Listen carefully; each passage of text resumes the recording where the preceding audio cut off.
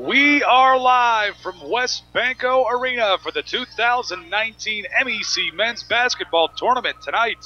It'll be Wheeling Jesuit University taking on the number one seed and number five team in the country, your West Liberty Hilltoppers. Thank you for joining us on the West Liberty Sports Network. I am Todd Allum, joined by EJ Shadzinski. EJ, the last time these two teams played was not all that long ago. It was the last time West Liberty played on March 2nd. The Toppers won by 11, 96 85 at the McDonough Center. Uh, West well, Wheeling Jesuit played uh, West Virginia Wesleyan two days ago, uh, winning in the first round of the Mountain East Conference Tournament 66 to 48 to get the chance to come and play the number one seed in the Toppers. This is going to be a good one because it's those crosstown rivals here in Wheeling at WesBanco Arena. And not only that, Todd, but we have seen Wheeling Jesuits' improvement throughout the year.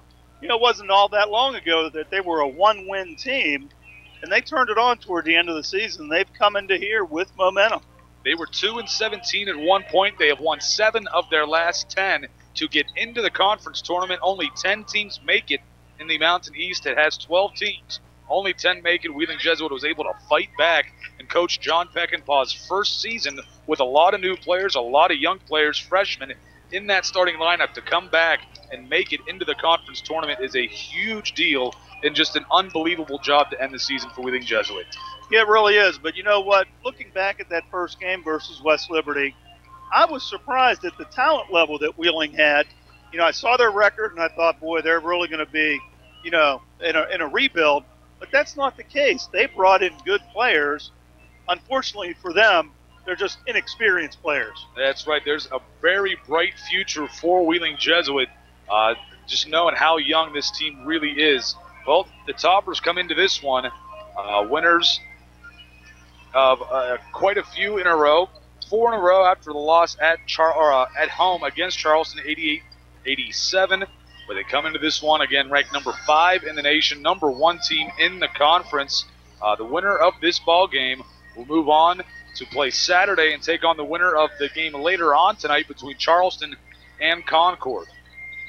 Well, it's been a fun tournament so far. Maybe the most exciting game of this tournament, uh, men's and women's, was last night uh, between the Lady Toppers and Notre Dame College. The Lady Toppers pulled off a big victory to move on to the semifinals to take on Glenville State tomorrow at noon. But it was also the first victory, uh, conference tournament victory for head coach Kyle Cooper in his second season. So a big congratulations to the women's team and Coach Cooper on his first ever tournament victory last night. Yeah, and even more significant was the fact that West Liberty really needed that win, I think, yesterday to to solidify. Uh, excuse me, we almost got hit by a, a rolling ball here. To solidify their opportunity to play in the regional tournament, and in my opinion, I think they've done enough. But you know, unfortunately, we don't make those decisions. But they're in a very good position to advance to the regional tournament with that win against Notre Dame. Well, the Hilltoppers in the regular season finished first overall, outright champions of the Mountain East Conference for the second straight year.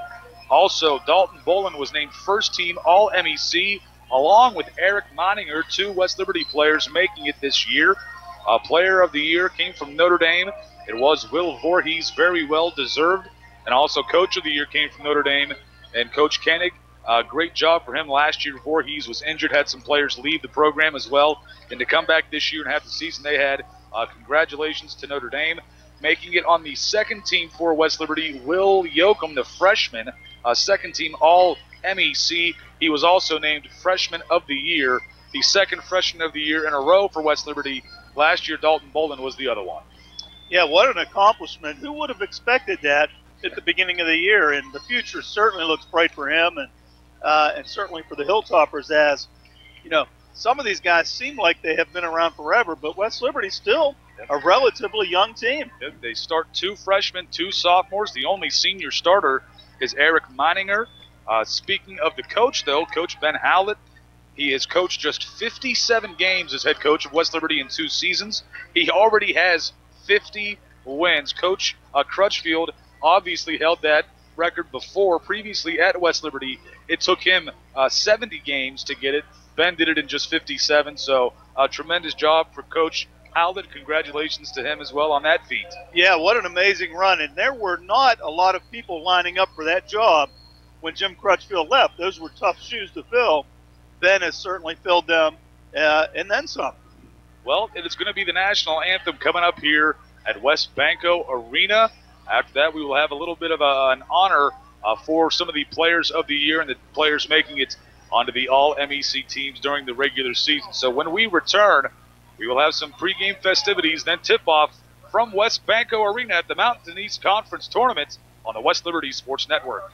A&B Kia, the Valley's only total indoor showroom, is a proud sponsor of West Liberty Hilltopper Athletic Club. If it's cheering on the Toppers or working to provide you with the best automotive shopping experience possible, A&B strives to be number one. Open seven days a week, A&B is the Valley's financing leader with the ability to say yes when other car dealers, banks, and credit unions have said no. Apply online at ANBAutosales.com. It's quick and easy with an answer within the hour. A&B, located directly off the Boggs Run Road exit in Benwood, West Virginia. A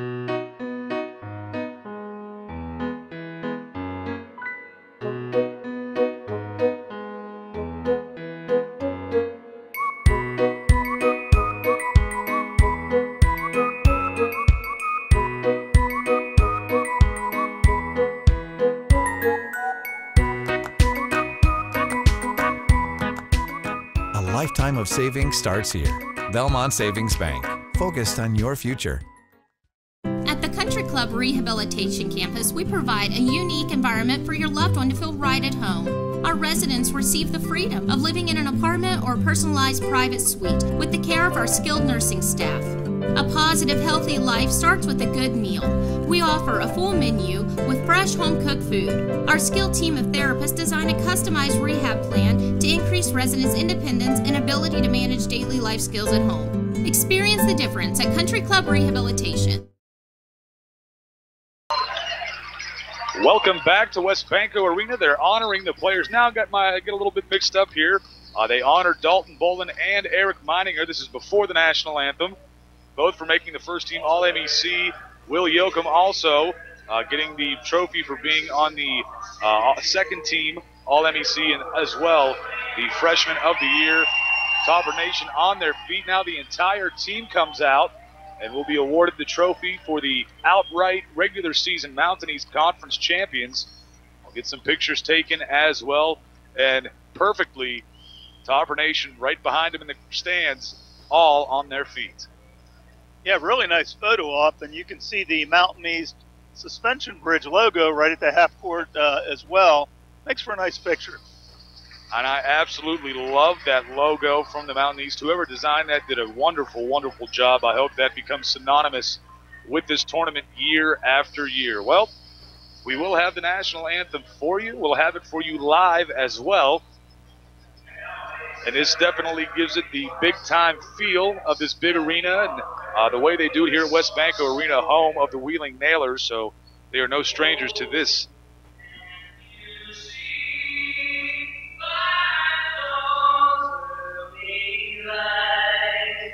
What's so?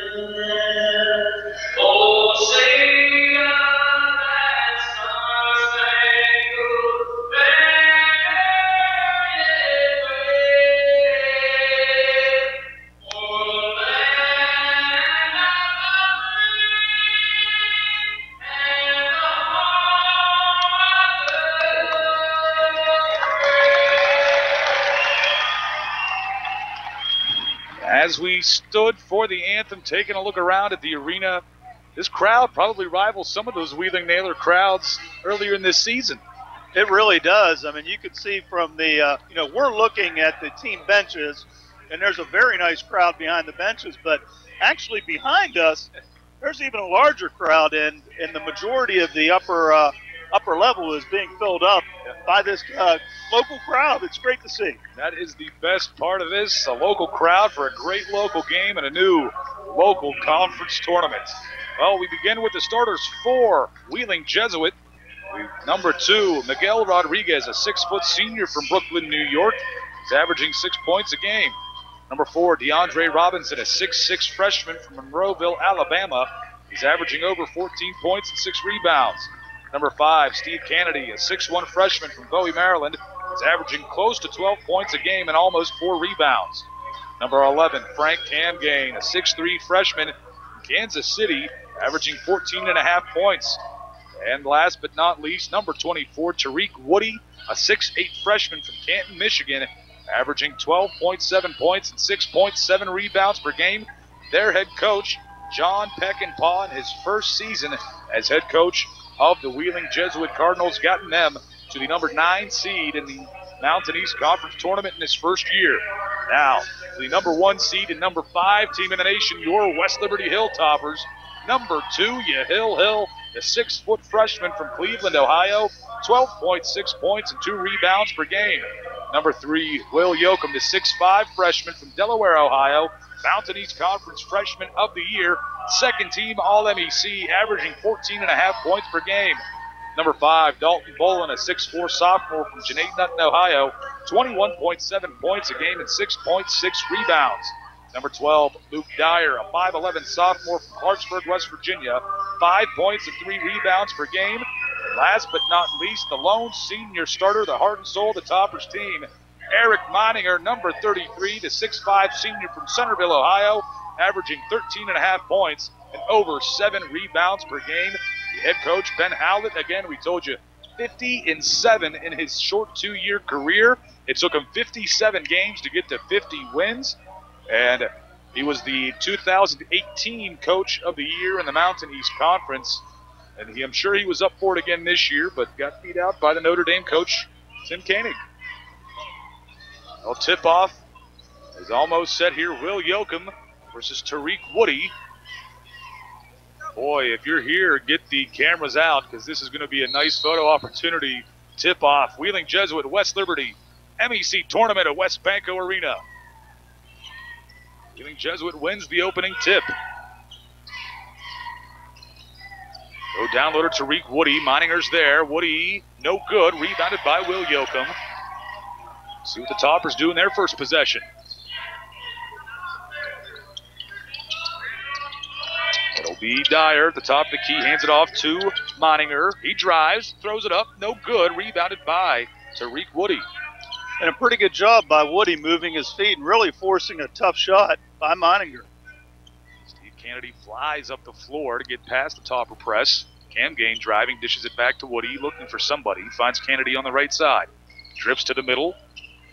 Now it's Robinson over the left side. Rodriguez puts up the three, no good. Rebounded by Eric Mininger. Quickly up the hill. Finds Mininger top the key, left side to Dyer. Pump fakes the three, driving, dishes over to the corner for Yahill Hill. Three point shot, a little bit too long, but an offensive rebound for Luke Dyer in the toppers. Yeah, the smallest guy in the court. He got up the highest that time. Inside pass, freshman to freshman. Hill to Yoakum, no good on the shot. Woody gets the rebound for Jesuit. Toppers pressing. Kennedy gets the ball across half court to Rodriguez. Downloader Woody back out to Robinson to the left side for Cam Gain. His three, no good. Long rebound. Bobbled around. Cam Gain comes up with it for Wheeling Jesuit. He drives on Mininger. Shot. I don't know if Mininger got a piece of that or not, but it's no good. Mininger in transition. Bounce pass to Bolin. Three point shot is up from the corner. It's good. First points of the game. 3 nothing toppers. And a great look by Mininger. Found Bolin all alone in the corner, and you know that he knows what to do with that. Rodriguez trying to beat the topper press. He does get across half court. Man to man defense. Hill on him. Now it's to the right side to Camgain. Luke Dyer guarding him down little Woody. Against Mininger, double team back out to Camgain. Left side now to Kennedy. Bolin in his face. Now back to the right. Rodriguez looking, three to shoot, gets into the paint, shot is up, no good. Bolin with the board. Dyer quickly up the hill. He goes baseline, dishes it back out to Yoakum. Puts up a long two. This one is off. Offensive rebound for the Toppers. Cross court pass. Dyer, Moninger, three point shot. No good. Off the top of the backboard, it's loose. Out of bounds. Possession stays with the Toppers. They say last off of Robinson. And another great job by Dyer. That's his second offensive rebound at just the start of this game. Luke is one of those do everything kind of players for the Toppers at point guard. Lobs it into Will Yoakum on the inbound. Now it's Moninger top of the key. Left side to Bolin. Pumps. Spinning. Loses the ball. Goes right to Moninger. He spins. He gets his shot blocked by Tariq Woody. Great defensive play. Yeah, it really was. You know, Woody showed the ability here to have a little bit of quickness and uh, came up with a block that time. Kennedy off to the right side. No shot from Rodriguez. He brings it back to the top of the key. Now it's Cam Gain on the left. Finds Woody. He puts up a long three point shot. It's good. Tie ball game at three. Dyer. finding her top to the key for the toppers. Dyer now. Back to Moninger on the right. Bolin tries to go to him, gets this pass stolen away by Cam Gain, and he finishes at the other end. Jesuit with the early lead, five to three. Yeah, great quickness by Cam Gain. He got in the passing lane and made the steal. Liberty again back quickly down the floor. Bolin keeps this one, goes baseline, puts up the shot, no good, but he is fouled. He will shoot two. I give this to DeAndre Robinson, his first team first. You know, so here we are at the 16-11 mark, and the score is five to three. You know, you, you've got to wonder playing in this big facility for the first time if it, it's going to take a little bit of getting used to for these teams, but I expect them to heat up as the game goes on. Bolin makes his first, the second platoon coming in for the Toppers. Evan French will wait as he'll be subbed in for Dalton. End of the game. Brady Arnold, Tyler Primer, Nate Allen, and Marlon Moore. Again, Evan French waiting to come in. If Bolin can make this, no good. And the rebound is up. Nate Allen gets it for the Toppers. Brady Arnold for three. It's good. 7 5. Toppers take the lead back. And you really can't say enough about West Liberty's rebounding prowess. That's their third extra possession in the early going. Cam Gain takes it coast to coast and makes the buckets. Tie ball game at 7. Bolin baseline loses this. They call another foul on Wheeling Jesuit. This one goes to Tariq Woody. Bolin back for his second attempt at the line. You know, and that'll be key for Wheeling Jesuit. If Woody gets in any kind of foul trouble, you know, that really limits a lot of the things that they can do. That'll be Woody's first, team second on Jesuit. Bolin cannot get the first of two. Woody comes out in number 23, Emmanuel Ansong. Ansong, is a 6'4 freshman from Bordentown, New Jersey. He averages seven and a half points, four and a half rebounds. Bolin makes the second, so one of two on both, two of four so far in the game. Evan French into the ball game for the Toppers. And we'll have to keep an eye on Ansong for Wheeling Jesuit. In the last game, which was just a week ago, he really did an incredible job offensive rebounding. West Liberty's got to check him out. Jesuit speeds down the floor with Steve Kennedy. Cam Gain on the right side. Now Ansong top of the key. Over to the left. Well, Kennedy. Now back to the right side, Rodriguez. A dozen seconds to shoot for Wheeling Jesuit. Kennedy will drive on Evan French, uses the speed, dishes it back out for Robinson. Three point shot, no good. French with the rebound. He brings the ball up. Brady Arnold now. Finds Marlon Moore on the right. Now it's Primer top of the key. He'll drive on Robinson, spinning into the lane, pumps, throws it up, rolls around and falls. 10 to 7, Toppers lead.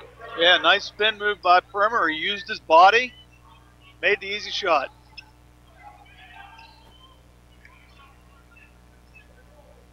Kennedy over to the left side to Rodriguez. Go down low to Robinson, guarded by Brady Arnold. Mismatch height wise, and Robinson wins that battle. Makes it a one point game, 10 to 9. And Robinson's going to win that battle against most everybody. He's long and lean inside, and he's easy, uh, easy to finish in there. Arnold for another three off the front of the rim. Offensive board for Evan French in. The putback is good. 12 9 Toppers lead. Timeout called. With that stoppage in play, it will be a media timeout. We will take the break as well. Toppers lead 12 9, 14 25 left to play on the West Liberty Sports Network. Your business keeps you busy all day. You need to save time and money. Main Street understands, so we offer convenience, service, and advice. Maybe that's why we keep growing. We have business checking, the absolute lowest fees, and savings with higher interest rates. Locally owned with local decision makers. Built by the people for the people. We don't want to be the biggest bank, just the best. Main Street. Welcome to the top early point lead here Banco Arena taking on the crosstown rival Wheeling Jesuit. Wheeling Jesuit made four of their last five field. So it is, you know, been a great game so far, a great opening to this game for a hometown crowd for both teams. Yeah, absolutely. And West Liberty not shooting that well, but the thing that's really carried them is their offensive rebounding. You know, by my count, which is unofficial, I already have the Hilltoppers for four offensive rebounds, and uh, those extra extra possessions are really important in a game like this. We get the stats sent to us, and you're pretty close. It's the Toppers have 10 rebounds already, five defensive, five offensive for the Toppers. But both teams uh, four of ten for Wheeling Jesuit, four of eleven for the Toppers. But you know they're keeping pace right with each other. And that rebounding has really been, you know, to, to a lot of people it probably goes unnoticed because West Liberty is not a big team, but all these guys can rebound and they're showing it here again tonight. Both teams back on the floor. The Toppers set to put on the press here with their second group into the ball game for Wheeling Jesuit, number 13, Jay Gentry. Wheeling Jesuit will beat the press. Miguel Rodriguez, the player taking a breather for Wheeling Jesuit as Gentry comes in. Can gain on the left. Trying to size up. Tyler Primer gets into the lane, launches it, no good. But an offensive board for Ansong, and the putback goes. Yeah, there's that guy that we talked about, and if you don't check him out, he's going to make you pay, and he did that right there. Brady Arnold now, top of the key. Keep this ball, now gets it off to Evan French. Over to the right to Nate Allen. He's looking. Just to the top of the key, drives, puts it up in the low post, no good, but he's fouled by Ansong, and Nate will shoot two. Nate picking up his strong play. Nice drive there, and he got he got Ansong off his feet and he cracked into him, and now he's going to go to the line for two.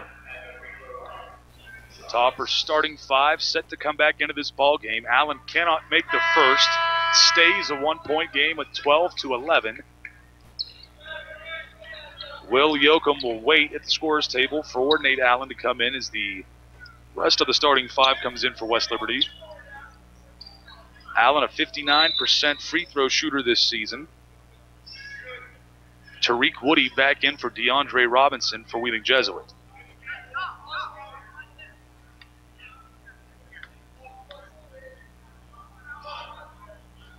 Allen cannot get the second either. 0 for 2 on that trip to the line. Toppers will still press out of this. Now they back off, and Kennedy brings the ball up the floor. Yeah, foul shooting has been an issue so far for West Liberty, missing a lot more shots than what we're used to seeing, and I think it's because of the facility.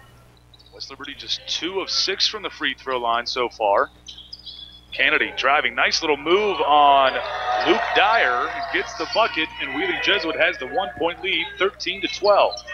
And you can see the potential in Kennedy. He's going to be a good one. Only a freshman. Hill for three. No good offensive rebound for Nate Allen, and a foul called on West Liberty. They will give this to Eric Moninger in that fight for the rebound. Will Yoakum comes back in for Nate Allen. That'll be Meininger's first, team first. That was a tough one to see from our angle. It looked like a collision between Meininger and Woody, and you know that's a good collision. Yeah. Uh, Meininger gets the call that time. Toppers will press. Hill Hill trying to stay with Steve Kennedy. They do get it up to Ansong. Now it's on the left side to Cam Gain. Pump fakes the three. Willie Yoakum staying with him. They go around the horn. Jay Gentry now on the right, driving into the paint. Back out to Ansong. Back to Gentry for three. Straight away. No good. Long rebound to Tariq Woody. Offensive board for Jesuit. Gentry again on the right. Now left side to Kennedy. He brings to the top of the key. Can unloaded Woody. One on one with Meininger. No good, but the putback falls. Out West Liberty. Giving Jesuit leads 15 to 12. Just a 30 second timeout. Ansong's one of those guys that he knows where his bread's buttered. You know, his game is offensive rebounding, and you know whoever gets that matchup for West Liberty, they've got to know that's the only thing he's concerned about. He doesn't care about shooting jumpers. He doesn't care about driving. He's going to the glass.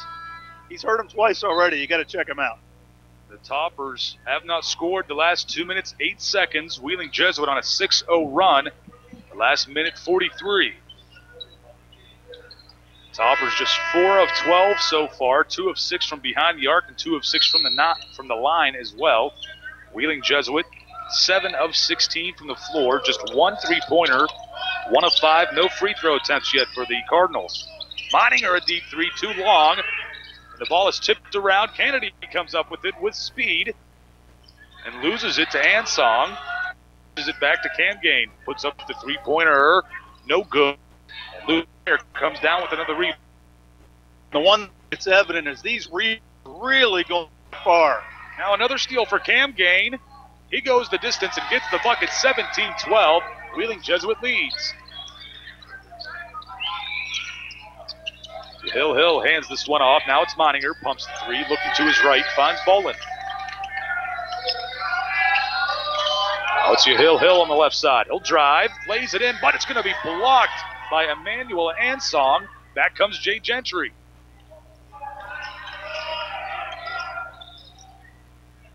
Frank Cam Gain to the top of the key, right side to Gentry, back to Cam Gain. Now it's Kennedy on the left, mismatch with Meininger, gets to the paint, bounce pass to Woody, stolen away by Meininger and Dalton Bolin. Three on one. Meininger keeps it himself. He gets fouled by Cam Gain, and Eric will shoot two. 14th foul on Wheeling Jesuit, first on Cam Gain.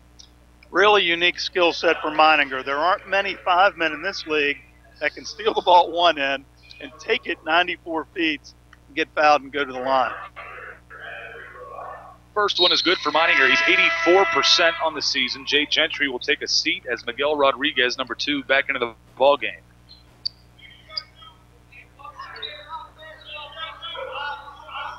It's a four-point game, 17-13. Meininger cannot make the second. Ansong with the rebound for Jesuit. 11 minutes left to play in this first half. Toppers pressing. Ansong gets across half court. Cam Gain puts it up and good with the contact. Boy, he really did absorb that contact. And Cam Gain's a nice looking guard, very strong, has the body of an upperclassman. Bolin's deep three, no good. Steve Kennedy with the rebound for Wheeling Jesuit. Up the floor quickly. Ansong looking. Offensive foul, the charge. Dalton Bolin draws it. Yeah, and boy, did that come at the right time. Jesuits seem to have momentum. I like the way Bolin took that charge, and more importantly, that's the second foul on Ansong, and he's going to have to take a seat. He will take a seat Is back into the game. DeAndre Robinson, number four. Brady Arnold and Marlon Moore into the ball game for Eric Meininger and Yahil Hill. Arnold quickly drives baseline, throws it up with contact, no good. Rebound is loose. Will Yoakum comes up with it. He throws up the little jumper and it falls. 19-15, Wheeling Jesuit leads. Yeah, once again, an offensive rebound. Keep Liberty in the game. Cam game up to Woody, no good. The putback, either. Ball is loose. Possession stays with Wheeling Jesuits. Well, I'll tell you, you know, people were calling for, uh, you know, body contact down there, but Woody's got to finish that. You know, he's uh, he's six seven and a, and a big body, and he's two feet from the basket. Uh, he's got to lay that one home. Kennedy down low to Woody. They're going to call the foul on Luke Dyers. He tried to go for the steal. The topper crowd saying he got all ball. The officials disagree. That'll be the first on Dyer. Well, and I would say that Woody got away with one there because as a big guy, you never want to bring the ball down on the floor where the little guys are. Uh, normally, they're going to come up with that. Halfway through this first half, just under 10 minutes left to play. Inside to Kennedy, wide open. Great pass from Woody to Kennedy, who extends their lead to six. 21 15, Wheeling Jesuit. Yeah, Woody's showing his passing ability there. Yoakum dishes it back to Marlon Moore. He's looking, hands it off to Dyer. Now it's Will Yoakum again. Pump fakes the three. He's going to drive, lays it up. It's good. And one opportunity coming up for Will Yoakum.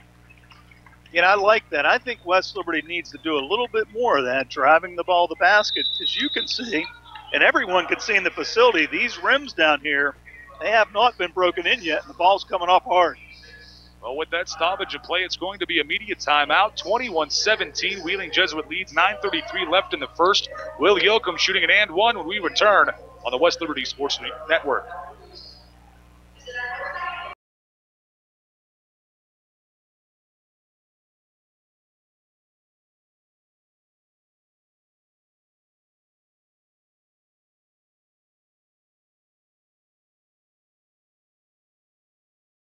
Undo's Catering, family owned since 1953.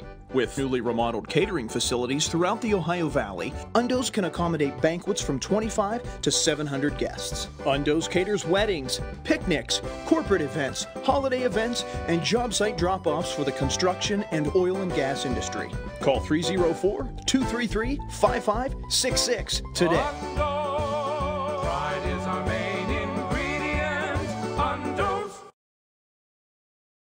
Back to WesBanco Arena, 9.33 left in this first half. Wheeling Jesuit up by four, 21-17.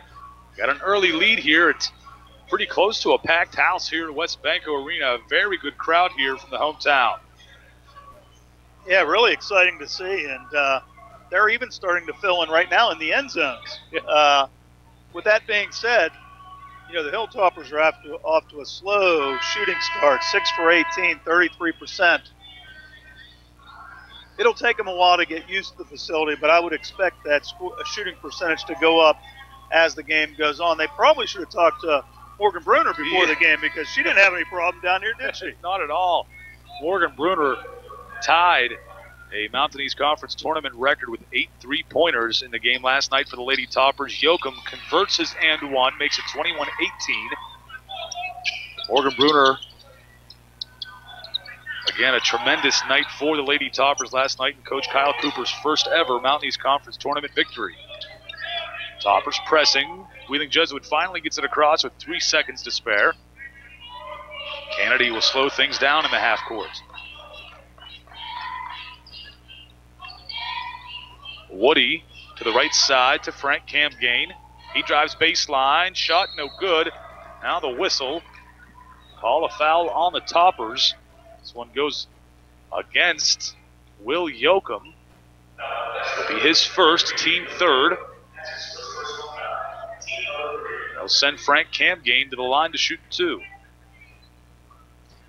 Nice drive by and you know, like we saw, this guy, he doesn't look like a freshman you know, he looks like uh, he's been in the weight room all his life, and uh, that time he was able to get a little contact and get to the foul line. Eric Meininger will come in for Will Yoakum. He's got some blood on his elbow, so Eric is in. Cam Gain makes his first free throw, 22-18. Wheeling Jesuit leads. Makes the second as well, make it 23-18 Wheeling Jesuit.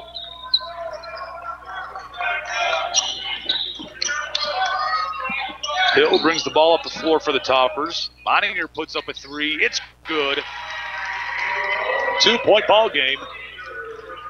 23 21. Meininger with four points.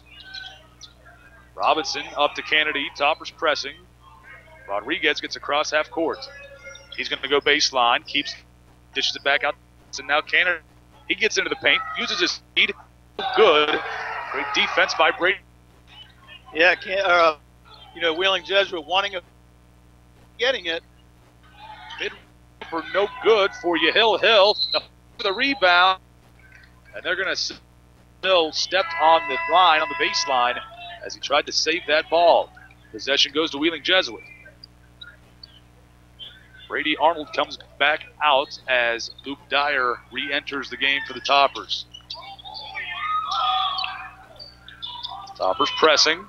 Kennedy brings it back across the floor, picks up his dribble. Now it's Rodriguez spinning back around to Kennedy, and they just get across the line with a half a second to spare. DeAndre Robinson for three, too long. Dyer with the board. Yeah, and the pressure did not force the turnover, but it did force a quick shot. Moninger's pass was tipped. Bolin picks up the loose ball, misses the shot. Rebounded by Cam Gain, quickly up to Rodriguez. Left side to Kennedy, open for three. Well off, airballed, out of bounds. Possession goes back to West Liberty. And Kennedy missed that one by quite a few feet. Uh, but you can see the depth perception, you know, is different for these guys out here. And uh, I'd like to see West Liberty take the ball to the basket a little bit more than what they've done so far. 7.50 left in this opening half. Dyer to Bolin on the right side. Cam Gain in his face. Driving into the paint. Throws it up with the left hand. He's fouled. Who are they going to give this one to? It'll be Cam Gain, his second. And West Liberty now into the bonus. It's the seventh team foul on Wheeling Jesuits. It looked like Dalton and I are thinking the same thing there. You know, really nice strong move to the middle, drew the foul, and he made the first foul shot. Jay Gentry in for Frank Cam Gain for Wheeling Jesuit. Will Yoakum set to come in for Dalton Bolin.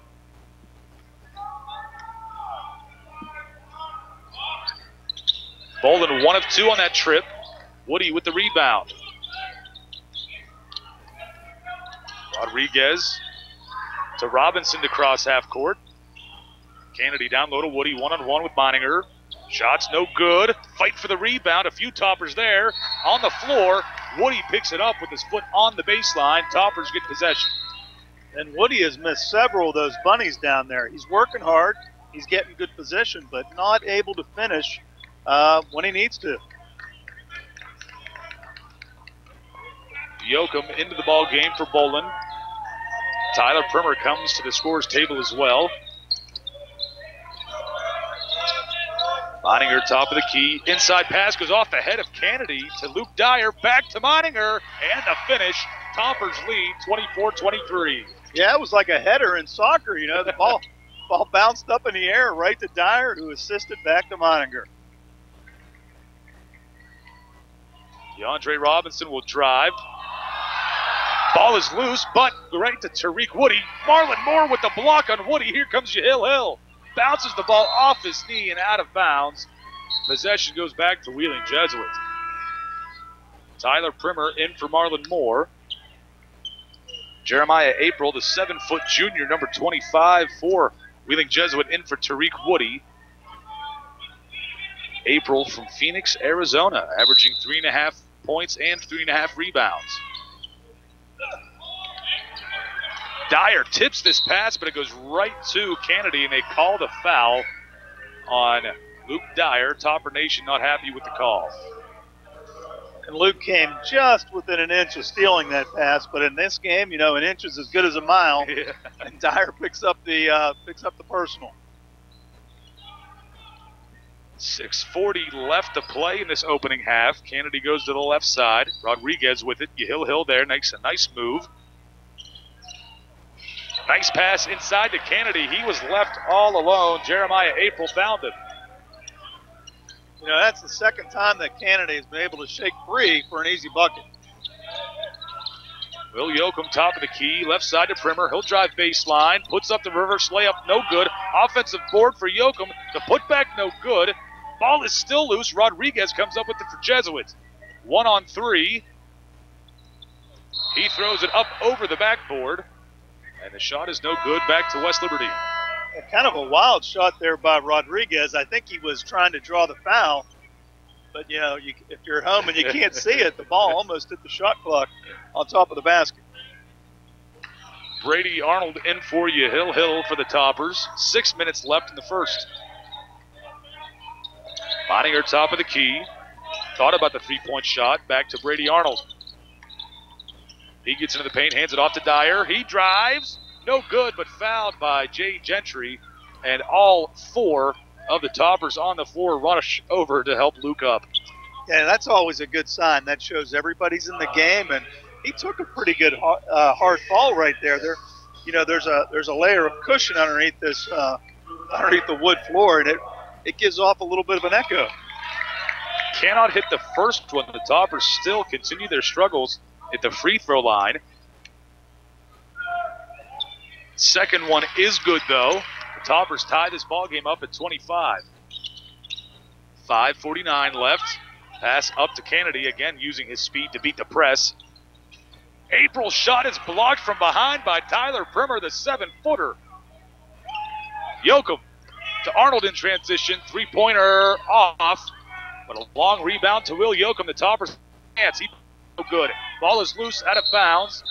Possession with the toppers off of Wheeling Jesuits. And lots of hard battles won inside there by West Liberty. Once again, getting another possession.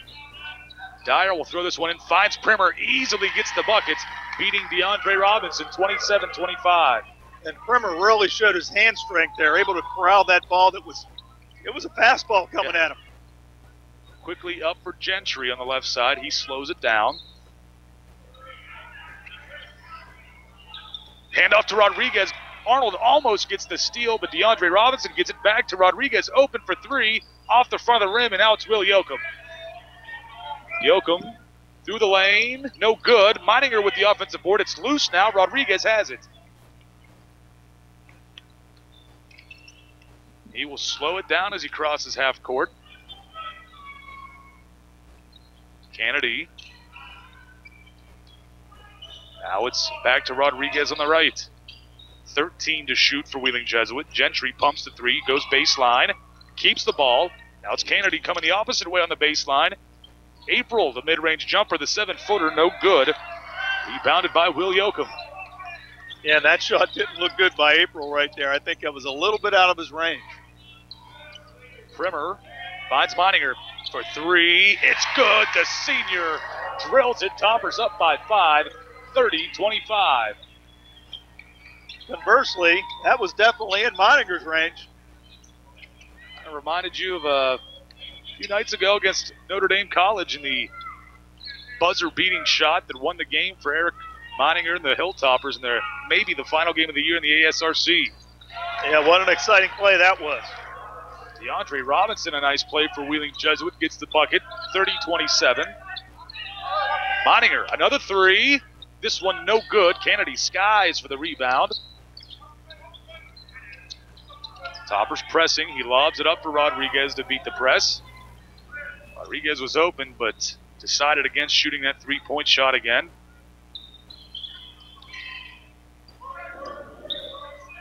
Gentry at the top of the key will drive on Brady Arnold. Lobs it up on the floater, no good. Gets the offensive board though. Back to Rodriguez. Kennedy dishes it back to Rodriguez. Now it's Robinson to Gentry on the left side. Now it's Kennedy on the right again. Primer in his face. The three pointer, no good. Rebounded by Meininger. Three minutes left in the opening half.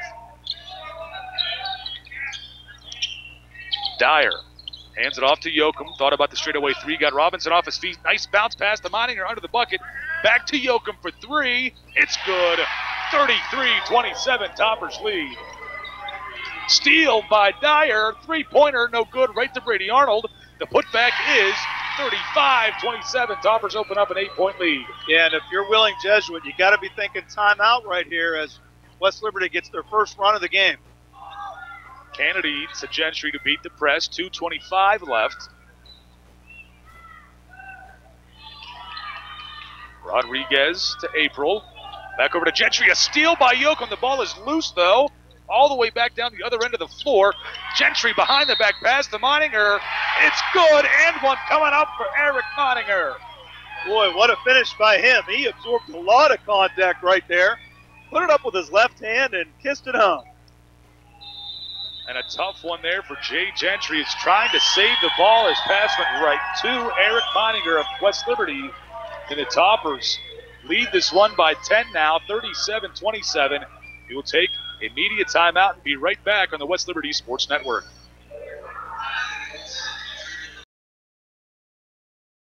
A&B Kia, the Valley's only total indoor showroom, is a proud sponsor of West Liberty Hilltopper Athletic Club. If it's cheering on the Toppers or working to provide you with the best automotive shopping experience possible, A&B strives to be number one. Open seven days a week, A&B is the Valley's financing leader with the ability to say yes when other car dealers, banks, and credit unions have said no. Apply online at ANBAutosales.com. It's quick and easy with an answer within the hour. A&B, located directly off the Boggs Run Road exit in Benwood, West Virginia.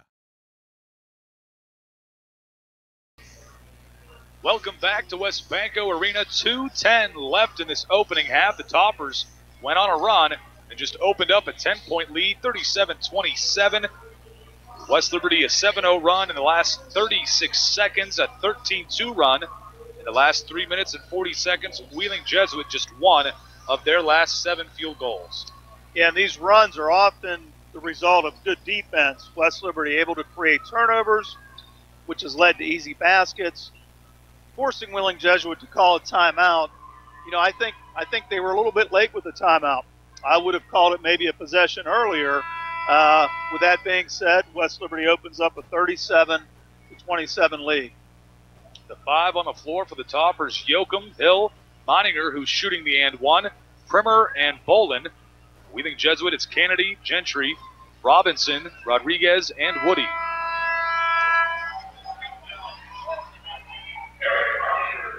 Meiningers and one attempt. Quickly up and good. 38 27. Toppers lead by 11. Now the officials blow the whistle. Marlon Moore into the ball game for Eric Moninger. And I like the way Ben substitutes players on foul shots. It enables him to set up his pressure, which we're seeing right now. Kennedy picks up his dribble. He's trapped in the corner now. The topper smartly just trying to guard anybody. They get it up quickly to Gentry, and he beats the press by a couple seconds. Under two left to play. Robinson on the right side. Three pointer, no good. Primer the board for the toppers. And right now, Wheeling Jesuit is settling for those long three pointers. You can see it's not working for them, and I would give them the same advice. Try to take the ball to the basket a little bit. Bolin takes the handoff from Hill. No good on the three, but an offensive board for Primer. Back to Yahil Hill. 135 left. Yoakum, three point shot is good. 41 27, Toppers lead. And once again, it's led by a, uh, oh boy. And the reason I said oh boy is Wheeling Jesuit really made a tough inbound pass and let their player Rodriguez in a tough spot and looked like Yoakum set him up for the charge. Unfortunately for the Hilltoppers, it was called a block on the floor, so it'll be Wheeling's ball out of bounds. That's a tough one. I got to watch myself. That happened right in front of us. I don't want to upset the officials. That was an oh boy right there. yes, it was. Folks at home, you know what an oh boy is. Oh my goodness. 115 left in this opening half. Wheeling Jesuit with the ball. They gave the foul to Will Yoakum. Will will take a seat. Marlon Moore back into this ball game. Rodriguez on the left side. I'm sorry, Eric Meininger back into the ball game for the toppers for Yoakum. Gentry with two to shoot on the shot clock. Nobody's paying attention. Robinson finally just lobs it up off the backboard. No good. Bolin comes back for the toppers. Going to keep it himself. Throws it up. Rolls around. No good. Woody tips it back. And he ends up with it. 40 seconds left in the half. Kennedy quickly gets down the floor and finishes 41 to 29. The Toppers will get the last shot. Shot clock is off. Meininger will bring this ball up the floor.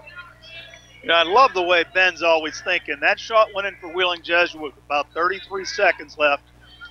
He deliberately held the ball out of bounds, did not inbound it until the shot clock was turned off. I mean, those are little things that help you to win games. Meininger on the right elbow, dishes it over to the left side for Bolin. Mid range jumper. It's good with three seconds left, and time will run out. Toppers lead at halftime 43 29. Topper Nation on their feet. Boy, what great execution there by Bolin and West Liberty. Able to get the last shot.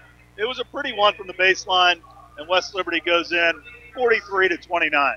The Toppers a 13-2 run the last two minutes and 45 seconds of this first half. Oh, when we come back, we will bring you some halftime stats, team and individually. We return for more on the West Liberty Sports Network.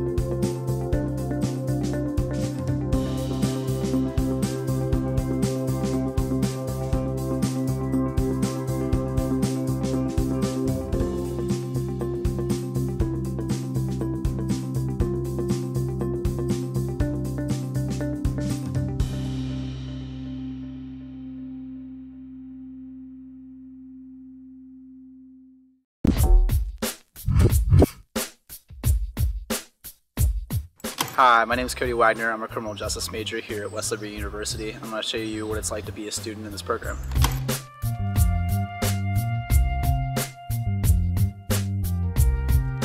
Now we're going to go to my victims of crime class with Dr. Bell. do is we just talked about chapter six, which was the child maltreatment, child abuse, child neglect. The CJ program really focuses on all the different aspects of criminal justice, as in corrections, law enforcement, and law. Dr. Bell has the networking capabilities to be able to help propel you into the criminal justice system in whatever which way you want to go, which makes it a little bit more unique compared to just somebody running the program out of a book. So uh, sometimes during my free time, I like to come out and throw a football on the quad with my friends. You can use your bachelor's to go on to grad school, so you can go in here into the graduate program of criminology, or you can just use your bachelor's to enter into the criminal justice field in terms of law enforcement. Uh, for me, I'm using my criminal justice bachelor's to go to law school.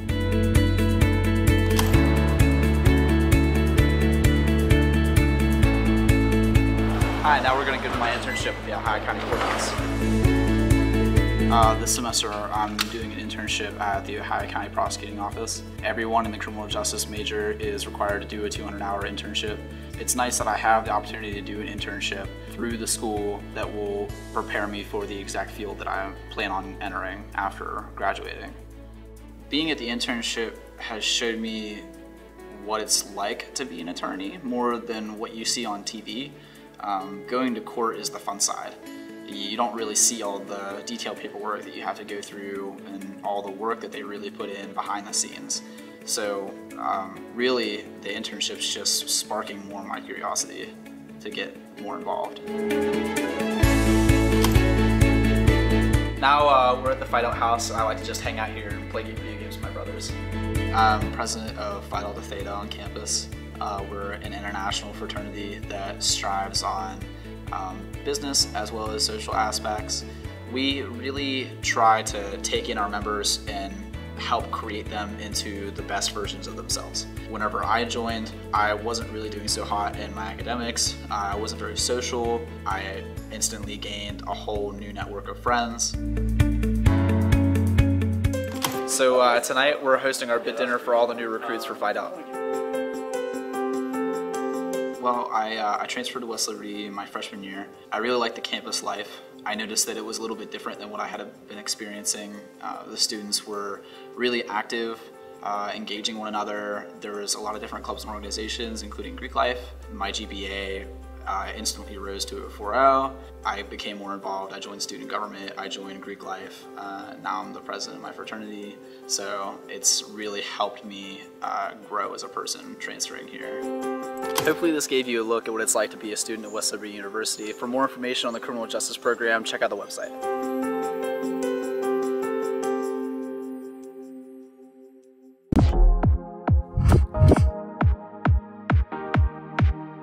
Guys, my name is Colin Lewis. I'm from Martinsburg, West Virginia. I'm a student here in the athletic training program at West Liberty. And today I'm going to take you to see what it looks like to be a student in this program.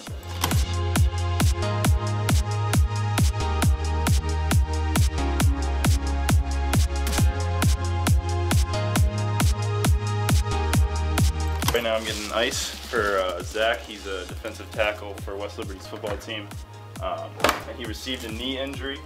Uh, so to treat this, we're going to give him a little bit of ice while he sits in class um, to uh, help stop or slow down the inflammation process and also to help with his pain. He's been having a lot of pain recently.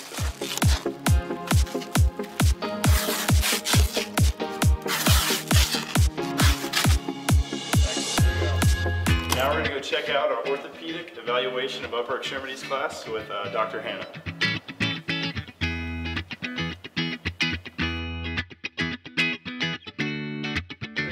Review, guys. Remember, we're talking about the upper extremity and special tests, obviously. Today, we're going to work on the valgus varus test of the uh, elbow. The medial epicondyle, of the humerus, the lateral epicondyle, those are the common origin points, but those muscles run long, long bellies down across the wrist to flex, extend, obviously ulnar and radial deviate, okay?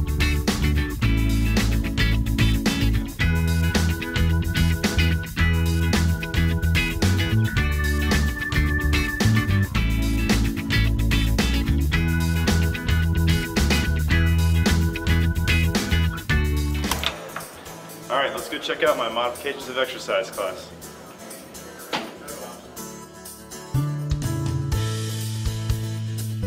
Today we're going to cover a specific type of cancer. There are four primary types or classifications. So we're going to start in on carcinoma. Professors are amazing here at Westlib. They really care about how much you learn, how much you, how much experience you're gaining through the program. The clinical experience is just um, all around amazing. Uh, you get to work with football teams, you get to work with the basketball teams, you get to go off campus, work with PT clinics, doctors, hospitals. And outside of class, I'm a student ambassador. I'm about to give a tour right now, so let's go meet the family. Hey guys, I'm Colin Lewis. I'll be for you guys today. How's it going?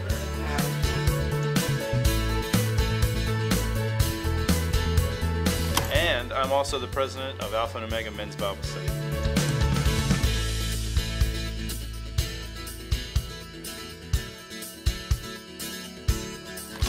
I hope this gave you a look at what it's like to be in the athletic training program. For more information, please visit our website.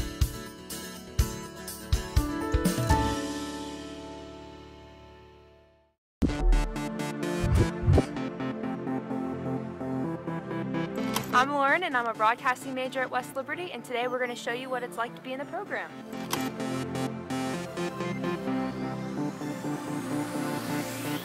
Now I'm on my way to my news writing and reporting class with Professor Beagle. First and foremost, our mission here is to inform. Reporters tell folks what's going on in the world around them. West Liberty was a really small school in a really nice area, but not too far away from Wheeling, which is a pretty populous place. So it really was just kind of that quiet area where I knew I could do what I wanted to do, but also have the help that I needed.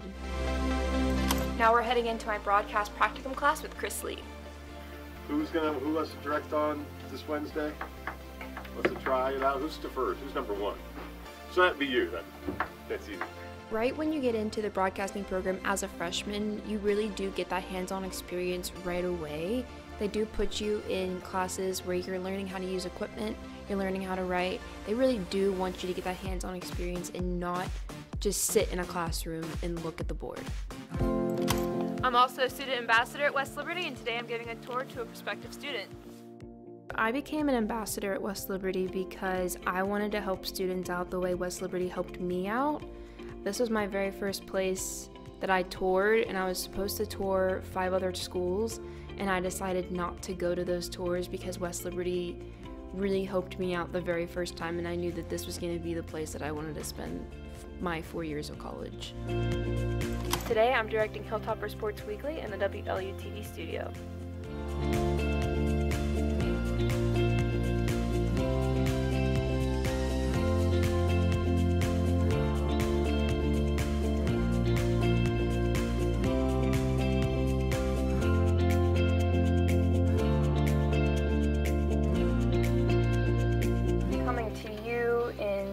Five, four, three, two, one, and cue. Having our own educational programming that goes out to over 100,000 homes on Channel 14 kind of gives the students more of a place to grow. They get to learn very quickly how to run a television show.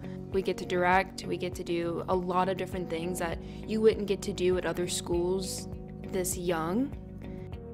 So tonight we have a doubleheader basketball game. We're about to go into the truck and get ready for the broadcast. So we have some of our student production crew members here. They're actually freshmen. We have Kelsey running instant replay, and we have Beth running graphics tonight. We have Chad up here. Chad's our ultimate producer. And then we have our freelance director, Trent. He used to be a student here, and now he's going to be directing our games tonight. So now we're going to head up to the floating track and set up our tight camp. So we have our own production truck, which we use for our home and sometimes away football games. And then we also use it for basketball games here as well. It's a really nice, really nice facility for us to use. But being a part of the crew has taught me so much. It's honestly helped out with my classes. It's helped out with me being more confident in a lot of things that I've done here. It really teaches you to be out of your comfort zone because you are a part of live television. So tonight I'm sidelining for the game and I'm about to go talk to Coach Cooper and get his thoughts on it. I really had no expectations of myself coming into college, but the more that I was here and the longer I was here, the more I grew out. Not only am I on the student production crew and a student ambassador, but I'm also a resident assistant on campus now. So I'm pretty involved. In high school, Lauren would have never done any of this. She was the shyest person ever and she never wanted to do anything that involved people, but now I've kind of like branched out and it's really helped me out in so many ways. And you can tell by the score that they want this game very bad. Clear might go. Thank you, Lauren. I hope this gave you a look at what it's like to be a broadcasting major at West Liberty. For more information, check out the website.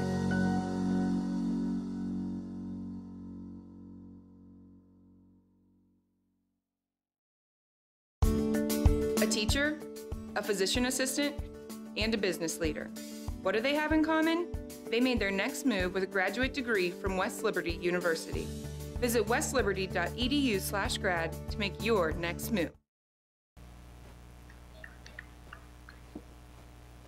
Welcome back to the WesBanco Arena. It is still halftime here. The Toppers with a 43-29 lead over Wheeling Jesuits.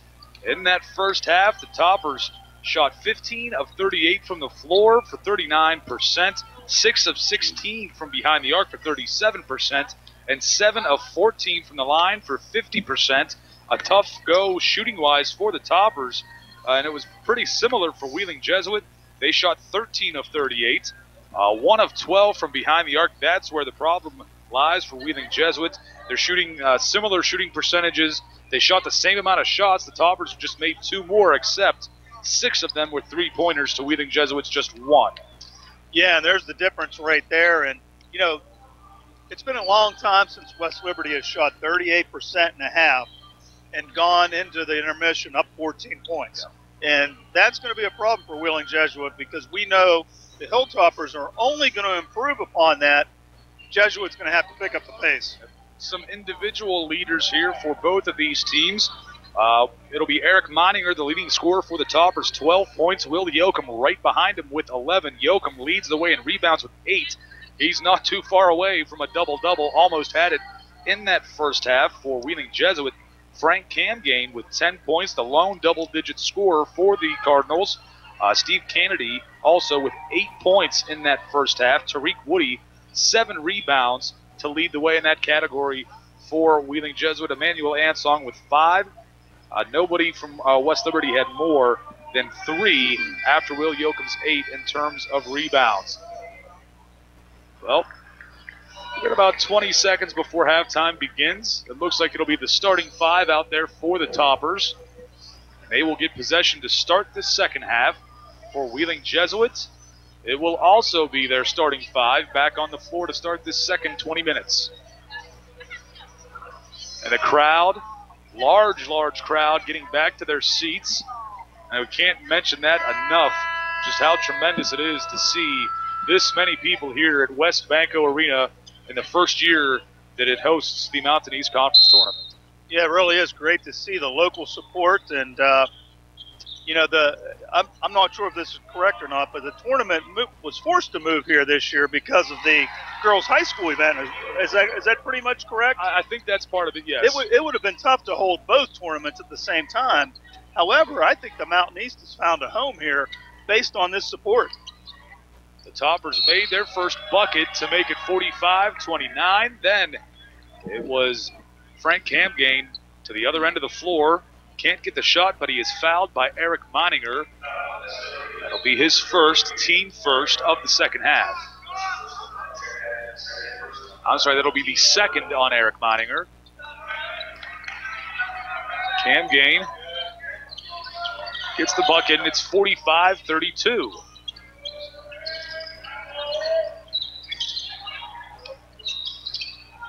Yahil Hill almost gets the shot blocked, finds Dalton Bolin on the pass. Moninger for three, no good. Long rebound out. They're going to say last touch by Wheeling Jesuits. And it'll be topper ball. But how many times have we said tonight, West Liberty hustle, offensive rebound, extra possession, and that's the case right there. Yahil Hill came out of nowhere to, to come up with the uh, come up with the possession for West Liberty. Toppers passing it around. Dyer will drive, take a step back, goes a baseline pass to Hill for three. It's good. 48 32, Toppers lead. Yeah, and oftentimes those extra possessions add up to three points like they did right there. Toppers still pressing. Almost get the steal, but Rodriguez crosses half court. Now they call a hand check foul on Dalton Bolin as Rodriguez crosses midcourt. Jay Gentry into the ball game for Rodriguez. That'll be the second team foul. Will also be the first foul on Bolin. Cam Gain throws it into Tariq Woody. Now back to the half court for Steve Kennedy. Robinson looking back to Kennedy on the right side. Screen set. Lobbed inside for Woody. Dishes it back over to Gentry underneath the bucket. Looks for somewhere to go. Finds Robinson. He drives. Dishes it back out. Tipped out of bounds by Will Yoakum. Possession stays with the Cardinals. Four seconds to shoot. And you got to give credit to the West Liberty defense. A lot of rotations taking place right there. And Yoakum knocks the ball out of bounds. Gentry will throw this one in from the baseline. Again, just four seconds to shoot for the Cardinals. He gets it in quickly. Cam Gain puts up the three. No good. Long rebound. Yahil Hill picks it up. Dyer looking, head up, finds Hill. He's going to drive on Gentry. Lays it up with the right hand. No good. And the rebound ends up with DeAndre Robinson of Wheeling Jesuit. Kennedy uses his speed, crosses half court, pass almost stolen by Yoakum. Gentry will get fouled by Bolin. He picks up his second very quickly. Yeah, tough one there for Bolin. Got a little bit out of position.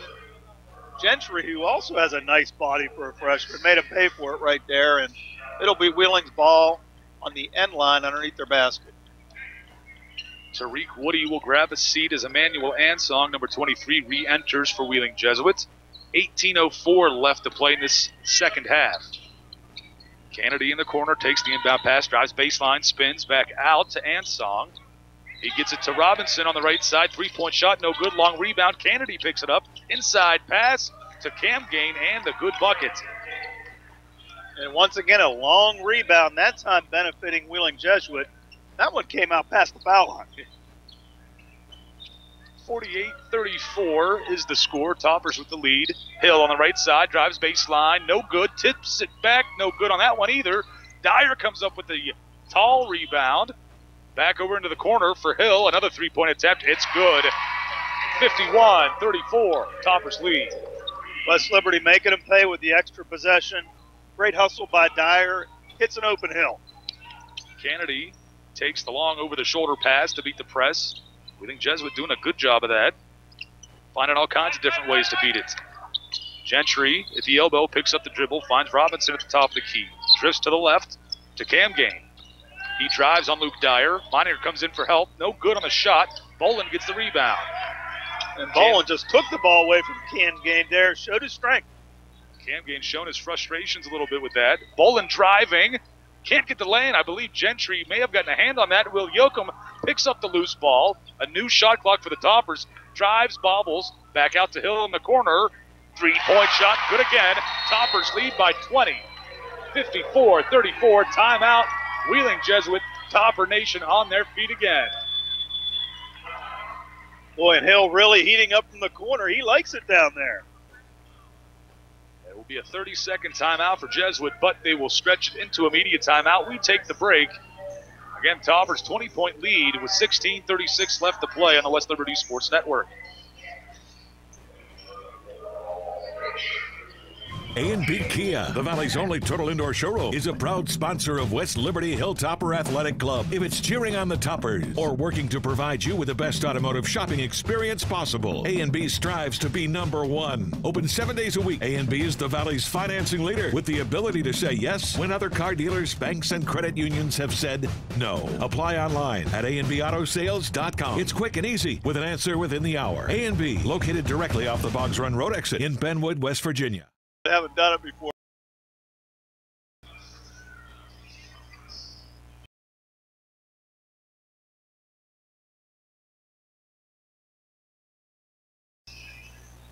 Welcome back. 16:36 left to play. The starting five out there for the Toppers. And it looks like they're having fun playing basketball right now. Struggled a little bit early on, but now they seem to be in full force, and the Toppers are really playing West Liberty basketball. Yeah, you are right. They did struggle early to score the ball, but the thing that I liked is they never panicked. You know, they hung in there. They kept their rotations. They basically have have worn down Wheeling Jesuit with their offensive rebounding, and now the scary thing is they're starting to make shots. Yeah. It will be Wheeling Jesuit possession. DeAndre Robinson will throw this ball in. Robinson, Rodriguez, Kennedy, Cam Gain, and Ansong on the floor for the Cardinals. The Toppers again, they're starting five. Jesuit will have to go the full length of the floor. Toppers pressing. Robinson bounce pass to Rodriguez to beat the press.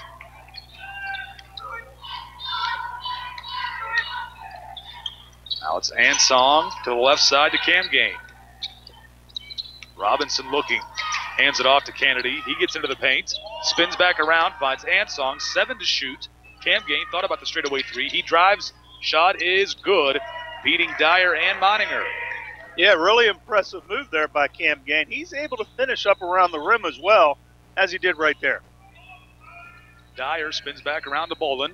He drives, puts it up, no good. Don't know if Robinson got a piece of that inside pass. Everybody left Will Yoakum, and Dyer found him. 56-36. And how many loose balls has Dyer come up with tonight?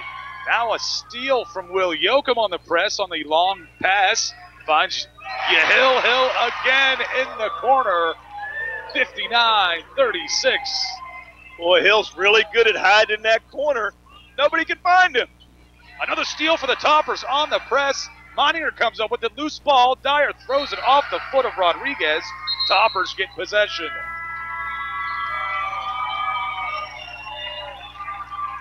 You can hear Topper Nation loud and proud here in the WesBanco Arena. The second five in for the Toppers.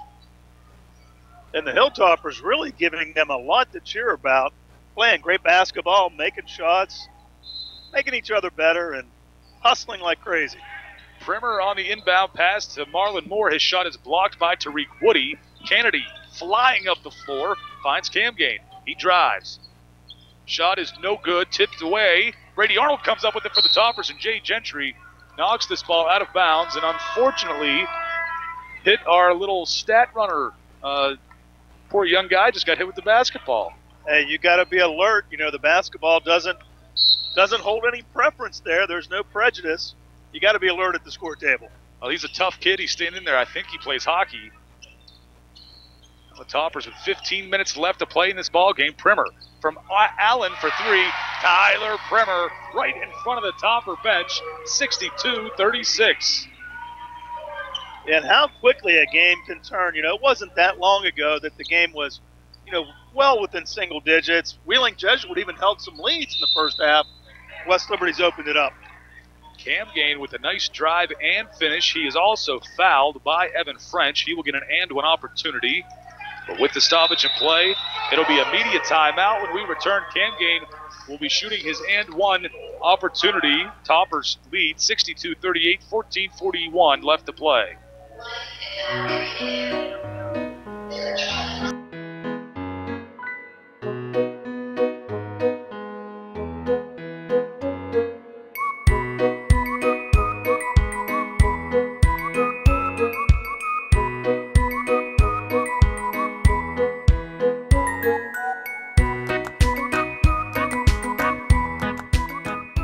Lifetime of saving starts here. Belmont Savings Bank, focused on your future. Welcome back. 14:39 left to play in this ball game. The Toppers a big lead. Taking a look again, we've talked about the crowd quite a bit here tonight, but also when you look around, I think every single team that is left in this conference tournament, either men's and women's side, are here to watch this game right now. I see Glenville State's women's team and West Liberty's women's team sitting just, uh, there's a section in between. Those two teams will play tomorrow at noon. That'll be here on the West Liberty Sports Network, an audio only broadcast. Myself and Kyle Patrick. But it is great to see, obviously, Concord and Charleston are here as well because they play after this ball game. So obviously they're going to be here. And Glenville State's women's team just got put up on the video board, and they're pretty excited about it. Yeah, you know those young people can do that dance they call the floss, and they, and they they can go back and forth, side to side, and uh, us old guys we can't do that. I don't even know what the floss is. I don't have.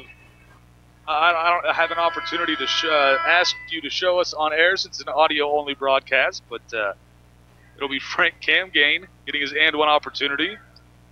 No good. Rebounded by Marlon Moore. It stays 62-38. Brady Arnold sets up in the half court. Tyler Primer looking, finds Moore. Pass is bobbled, but Arnold picks it up. French for a quick three, no good, a little bit too long, and Steve Kennedy skies high to get the board. Yeah, I like the way Kennedy blocked out there as well. He left no doubt that was his. Brady Arnold at the other end saying, You want to jump high? So can I, little man. He gets up and blocks Jay Gentry's shot. And Brady left no doubt at this end. Great block by Brady. Battle of the smaller guys on the floor, both around 5'10 or so. Arnold trying to get another block on Steve Kennedy, but Kennedy able to get the nice bucket. It's kind of fun to watch these guys go back and forth, though. A lot of speed and skill between those two players. Moore trying to split a double team. The jumper no good on the runner. Nate Allen almost gets the rebound, and a foul will be called on Wheeling Jesuits. They call this on Steve Kennedy. And John Peckinpah wanted the technical foul, and he got it from the official. He said, Give me one. And sure enough, he got a T in his direction. Yeah, I think you're right. I think he did say that. And uh, he was asking what the player did down there, but Nate was really just working hard and he got bumped, and uh, and the foul was called, and now West Liberty will shoot two for the technical, and then they'll get the ball right back uh, at half court. Coach Peckinpah picked up a technical foul up at West Liberty when these two teams played earlier this season. It'll be Evan French. Again, Evan's got one of the sweetest shots you'll ever see in West Liberty history. He's shooting two free throws, makes the first. Kennedy picked up his first foul, second team foul on Wheeling Jesuit this half. French makes both free throws. And now it'll be Nate Allen's turn to shoot for the personal foul.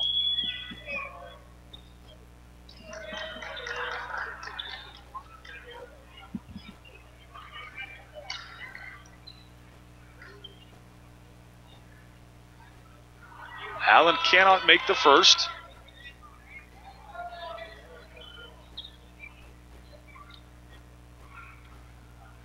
The second attempt.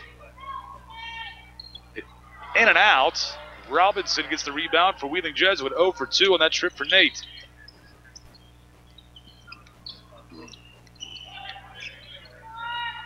Robinson to the right side for Jay Gentry, guarded by Marlon Moore, 13 against 13 there.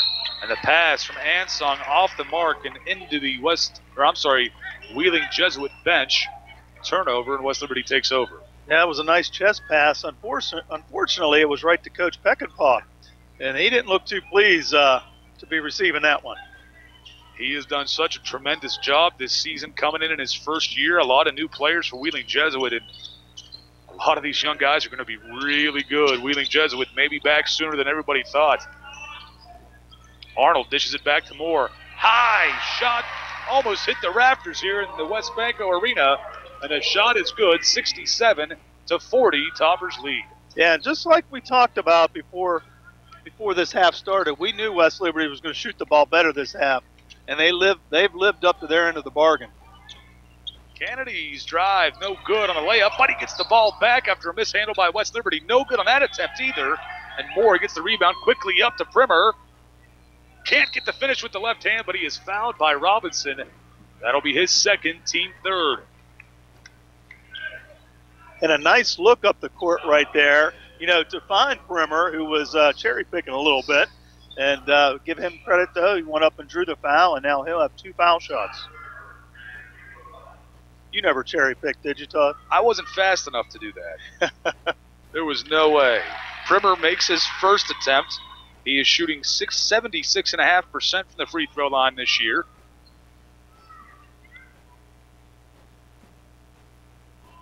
Second one, no good. Ansong with the board for the Cardinals.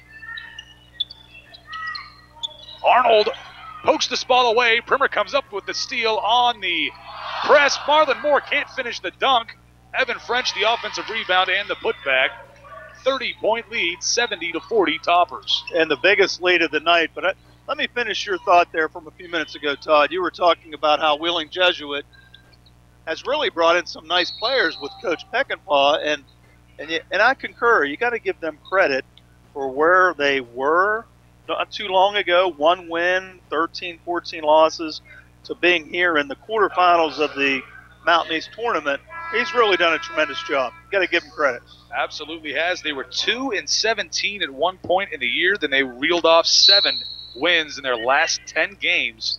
They even won their opening round game in the Mountain East Conference tournament against West Virginia Wesleyan. They've just tremendously you know, gotten better and better with every single game they've played this year. Yeah, and I would say I don't think there were any teams lining up wanting to play them in this tournament because they've come in really as hot as anybody. Ansong with a nice bucket in the lane. Ansong is another freshman. I mean, so many freshmen on this team. That uh, we talk about the toppers also being young. This is going to be a good rivalry. Continue to be one. Marlon Moore, another three-point shot, makes it 76 to 42. Wow, and Marlon really brought it, brought down rain with that one. Like you said, going up toward the rafters and splashing down through the nets. Cam Gain with a nice baseline drive. Marlon Moore rips the ball out of his hands, but they're going to call the foul.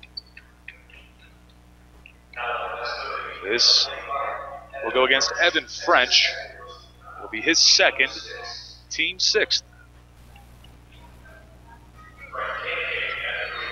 Cam Gain to shoot two.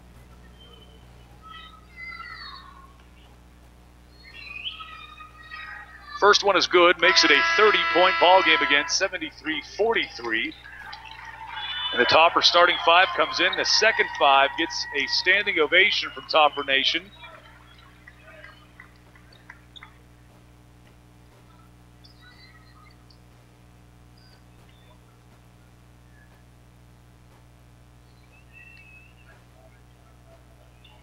Cam Gain's second attempt, good as well. 73-44. Dyer to the left side to Bolin. He's looking. Finds Meininger, top of the key, back to the right to Yahil Hill.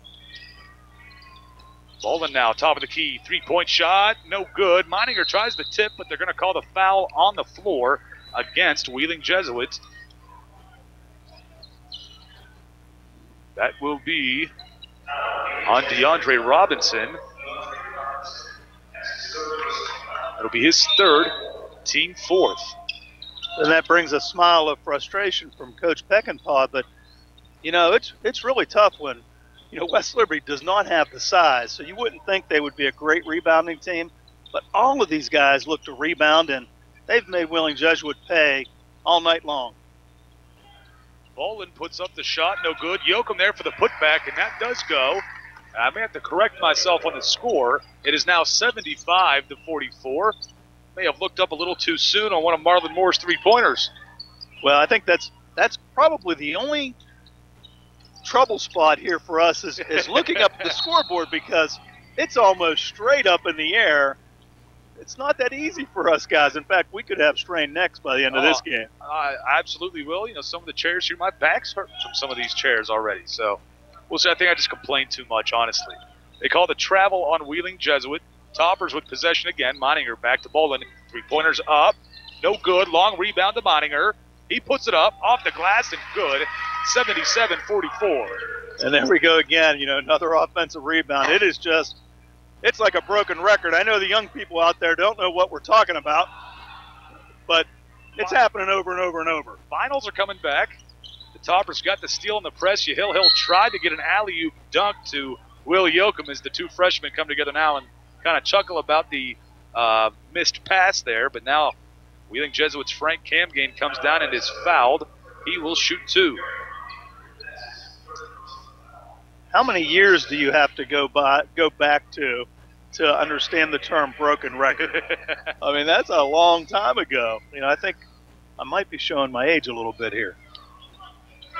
Cam Gain cannot make the front end.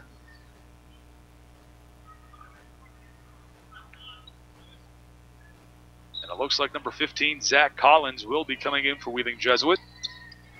Cam Gain makes his second. Collins is in for Cam Gain. 77 44. Toppers have the lead. And there are exactly 10 minutes remaining in this ball game. Moninger from Dyer. Three pointer, no good. Ansong gets the rebound quickly up to Collins. Bolin on him. Behind the back dribble, loses it to Yahil Hill. He's going to push the pace. Takes it coast to coast and finishes with the right hand. 79 44. Well, Hill showed it all there speed, quickness, strength, and a nice touch to finish up around the rim. Yahil Hill now with 16 points, four of six from behind the arc for Hill tonight, the true freshman. Collins from the corner. No good on that three point attempt. Bolin another rebound. Moninger hands it off to Dyer. Finds Bolin. Pump fakes to straightaway three. Back to Moninger. Bounce pass to Hill. Baseline and good. 81 44. Hill, 18 points, leading all scorers. Great setup by Meininger, and boy, is Hill fluid down there. Finished with the left hand like it was nothing. Kennedy almost gets this ball stripped away by Dyer, but they call the foul on Dyer. With that stoppage, it looks like it's going to be immediate timeout. It will be. The second five is going to come back in for the Toppers. Topper Nation on their feet again for West Liberty as this immediate timeout happens. 8.45 left to play. 81 to 45 is the score in favor of West Liberty. We'll be right back on the West Liberty Sports Network. At the Country Club Rehabilitation Campus, we provide a unique environment for your loved one to feel right at home. Residents receive the freedom of living in an apartment or personalized private suite with the care of our skilled nursing staff. A positive, healthy life starts with a good meal. We offer a full menu with fresh home cooked food. Our skilled team of therapists design a customized rehab plan to increase residents' independence and ability to manage daily life skills at home. Experience the difference at Country Club Rehabilitation.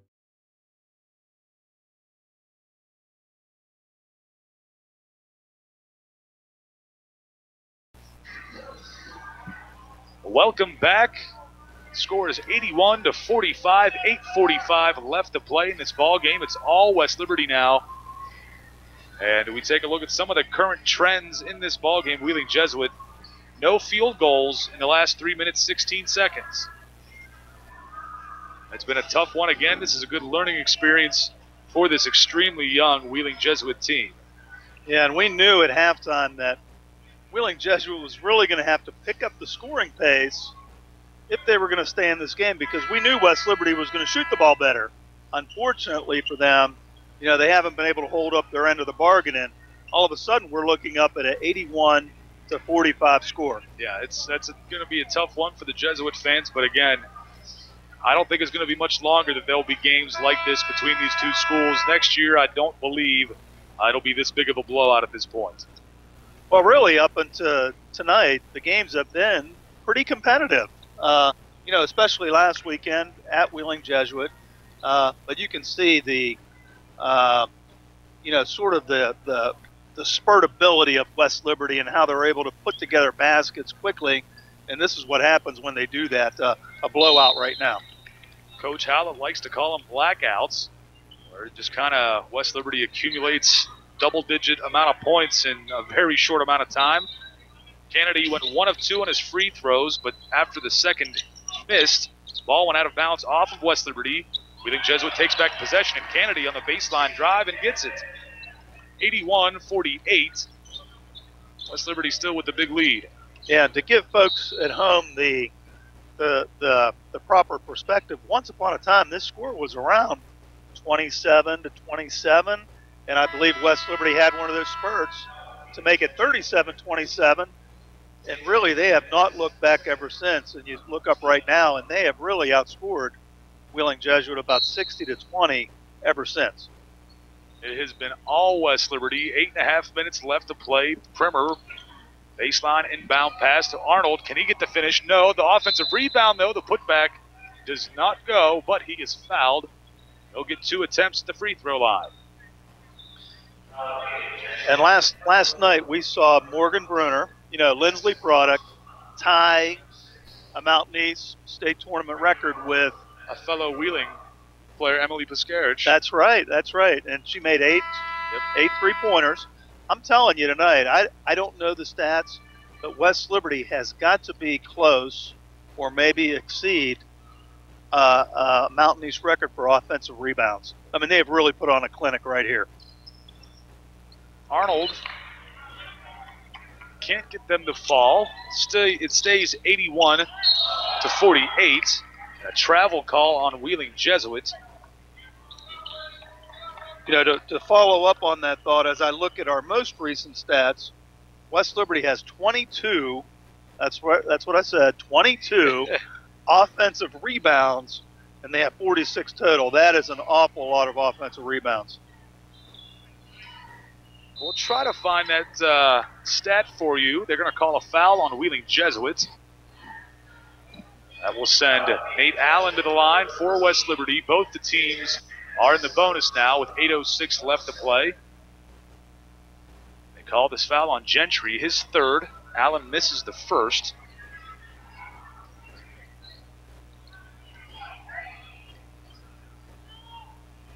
You know, and whether it's a, a record or not, it just shows the domination uh, and the determination of the West Liberty Quint out there on the court for getting the rebounds.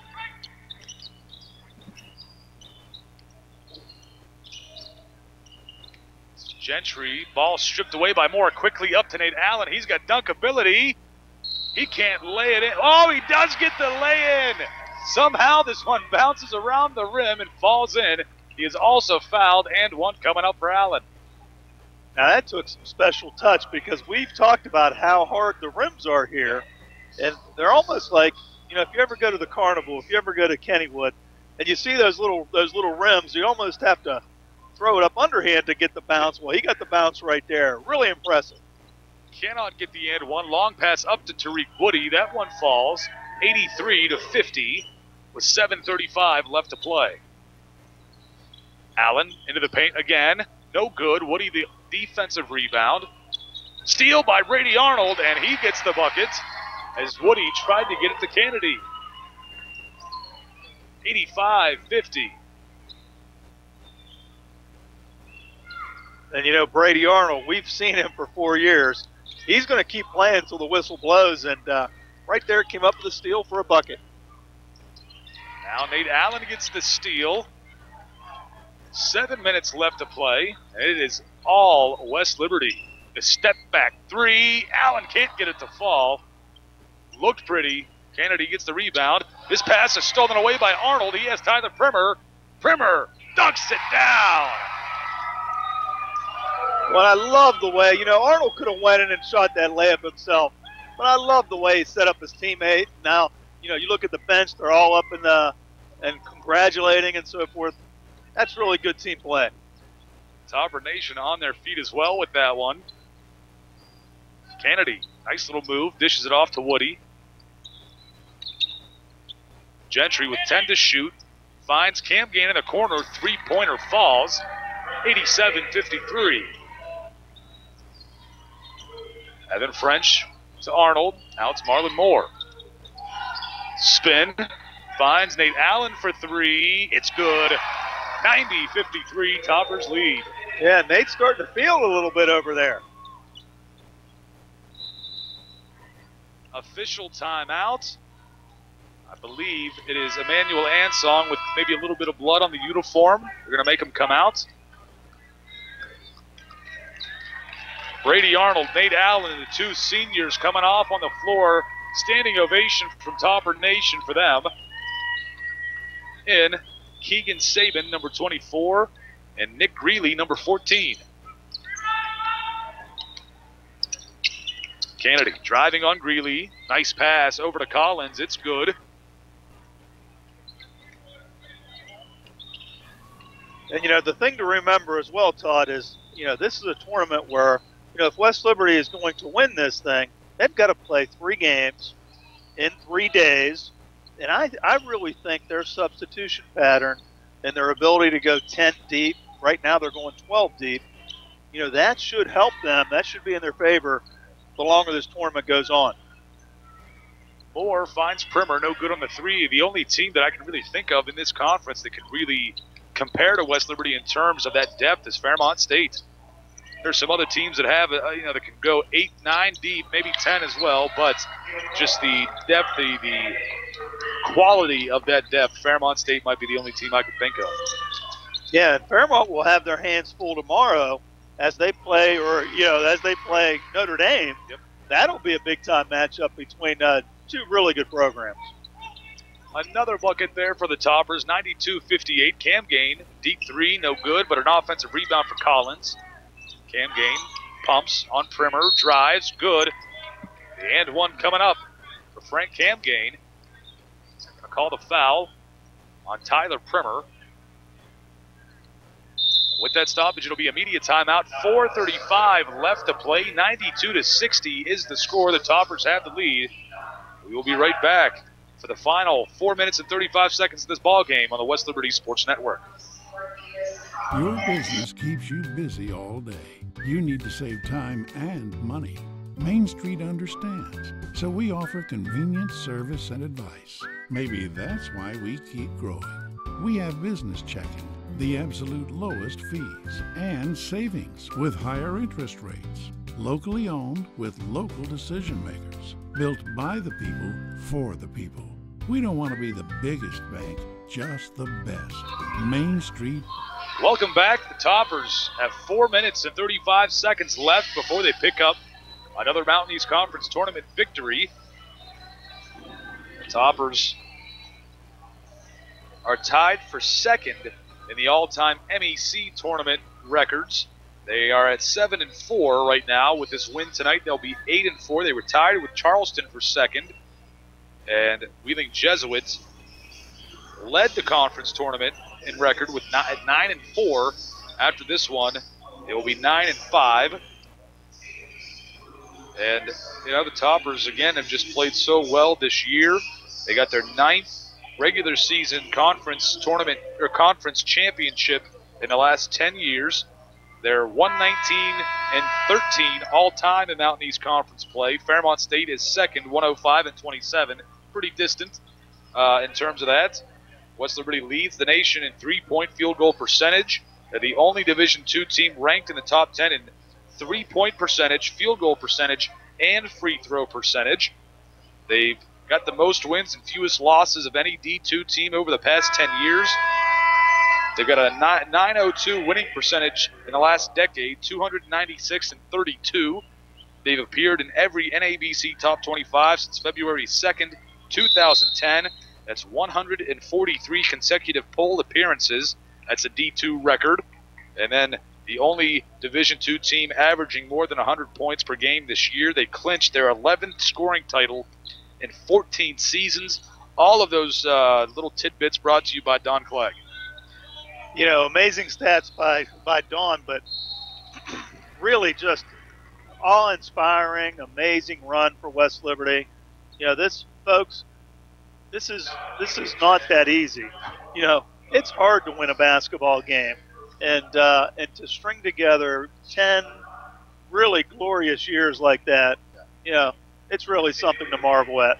West Liberty has averaged more than 30 wins in this past decade, and they've never played more than 28 regular season games. It's uh, it's really saying something right there. You know, does that math even add up? Yeah, I mean, you know? it, it seems like it doesn't, but that's that's the honest truth. Tyler Primer comes out. Nate Allen in. He gets a nice standing ovation. He is a topper senior. Nick Greeley unable to make the free throw here, but he's got three points so far tonight. The only topper that has played and not scored is Keegan Saban, but I'm sure he will by the time this game is over. 93 61 is the score. The Toppers have the lead. Make it 93 63 as think Jesuit gets the bucket. But getting back to that math there, Todd, you know, that it really shows you how successful West Liberty has been in postseason. Yep. The, the, the conference tournament, the regional tournament, and no matter how far they go in this particular event, they're going to be playing basketball next week in the regional tournament. Oh, yeah hopefully, you know, I don't know. IUP did win their opening round game, so I think that maybe solidifies their spot at number one in the regional tournament and hosting. But you never know. Maybe if the Toppers can win this conference tournament and IUP loses at some point, that's the only uh, chance that West Liberty really has. It may have already passed. Yeah, there's still some basketball left to be played, though. So who, you know, who knows what's going to happen? You know, the other possibility is IUP is also ranked first in the women's region. Oh, they, no, they, they lost. Uh, they lost two out of three to end their oh, regular season. So it looks like Virginia Union is going to be hosting on the women's side. Oh, okay, I misspoke there. Yeah, the last time we were together, yeah, it's they been were, a while they were, were illness, but they were up there in both, and I was thinking, boy, they might have to. The NCAA might have to split uh, tournaments, but that's not going to be the case. That would have been nice because that would have given the Toppers an opportunity to at least host part of the regional tournament, but that will no longer happen. Keegan Saban, there it is. Every single Topper that has played has scored tonight a three-pointer, makes it 96 to 65. That's got to be a good feeling. You wouldn't want to be the only guy in the locker room that, that didn't get in the that didn't get in the stat sheet. Cam Gain will be fouled on his shot attempt. Marlon Moore picks it up, and the Toppers last year in their first round game against West Virginia State set a Mountain East Conference tournament record with 133 points. And what was funny about that is West Virginia State had set the record in the game that they played previous to get to play West Liberty. Uh, and then, sure enough, they give up that uh, even more than that the following game. So it's kind of funny how that stuff goes. But uh, you know, West Liberty 133 points last season in their first round matchup. I don't believe they'll get to that point this year 96 points with less than three minutes to play. But they will try to get to those triple digits. As usual, Collins now with the steal for Jesuits. Cannot get the finish, but he's fouled by Evan French. He will shoot two. 96 67 is the score. 2.45 left to play. Yeah, they're not going to hit any scoring marks tonight, But but really uh, an all-around great effort by the Hilltoppers, complete game, and I I can't think of one player on the roster that didn't play uh, to his potential tonight, and that's a good sign going forward for a team that plays so many players. Keegan Saban brings the ball up the floor, hands it off to Allen. He puts up the three, no good. April, the seven-footer, gets the rebound.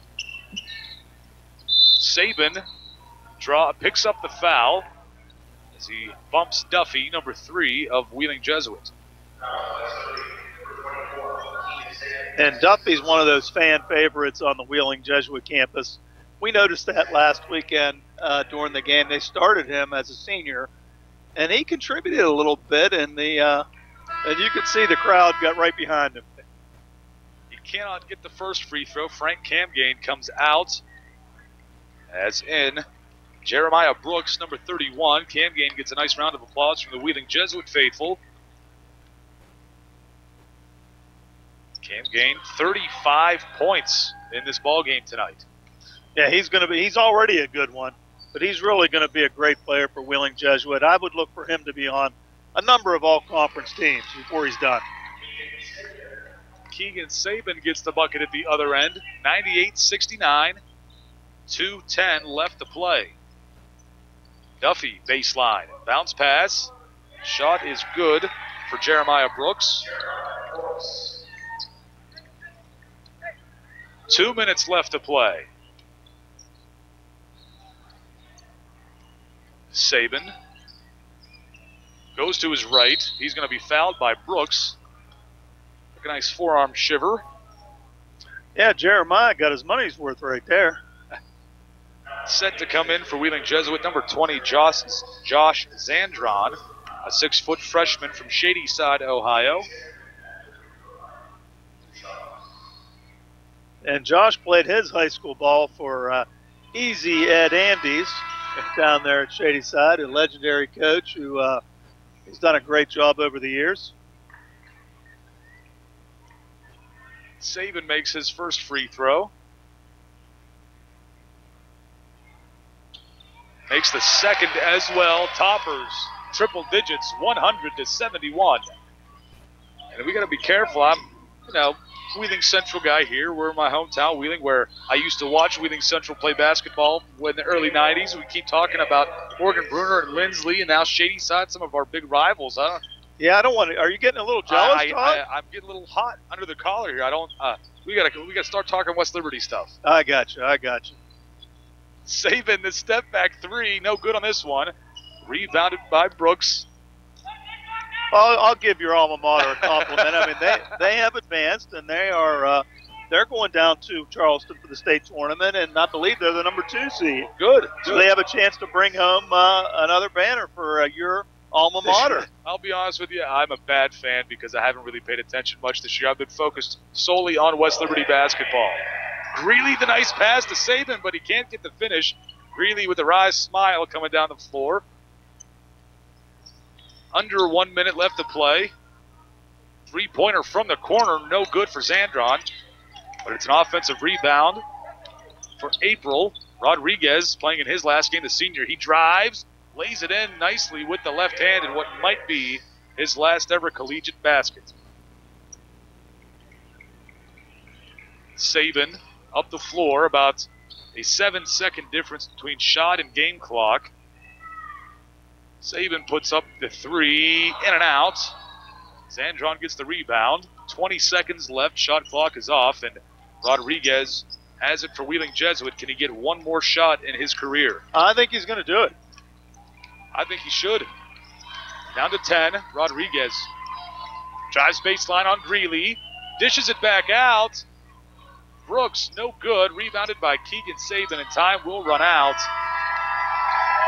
Topper Nation on their feet here at West Banco Arena as the Toppers get a big victory, 100 to 79, and they move on to the semifinals of the Mountain East Conference tournament. They will play Saturday, March 9th, tomorrow at 6 p.m. They will wait and see who they will play coming up at 8:15 tonight Charleston takes on Concord. West Liberty will play the winner of that ball game. Uh, if you want to watch that one, which I highly suggest, that might be the most entertaining game of this entire tournament. Uh, that'll be on mountaineast.org. Go to Tournament Central. You'll be able to watch that game live online, the stream. It's going to be very exciting to watch. I'm sticking around to watch this game. I don't know if you are, EJ, but it's going to be fun. I'm going to be. I'm going to stay right here. If they let me, if they let us stay right here, I'm going to stay right here courtside. And like you said, it will be a good one. And so far, the number one seed West Liberty has advanced. The two seed Fairmont, the three seed Notre Dame, and now we have the four and the five. So everybody holding serve so far and let's see what happens in the nightcap. And that four and five, they're kind of interchangeable, whether it's Charleston or Concord. They're pretty evenly matched. It's going to be fun to watch. Again, we take a look at some of the stats to end the ball game. Leading scorer for the Toppers, Yahil Hill, 18 points, three rebounds. Will Yoakum, 15 points, 10 rebounds, the double double, leading the way in the rebound category. And for Wheeling Jesuit, Frank Cam Gain, 35 points, four rebounds, 12 of 21, just two three pointers as well. But 35 points, a great game for the freshman Cam Gain. Yeah, he's he's going to be a good one, that's for sure. And as we as we, as we look out onto the court, uh, Concord has come up to warm up, and they've got a guy that can score a bunch of points as well. One of your favorites, Tommy Bolte. This is going to be fun to watch. I'm not going to lie to you. I hope Charleston wins just so we don't have to play Tommy Bolte again. But neither game will be easy, regardless of who wins this game between Concord and Charleston. It's going to be a tough one for the Toppers tomorrow at 6 p.m. The men will play again here at WesBanco Arena. We will bring you an audio only broadcast if you cannot make it to WesBanco Arena yourself. And also tomorrow at noon, the women play against the number one seeded Glenville State, the number 18 in the nation. But the Lady Toppers, if anybody can beat Glenville State on the women's side, it's West Liberty. And that will be tomorrow at noon.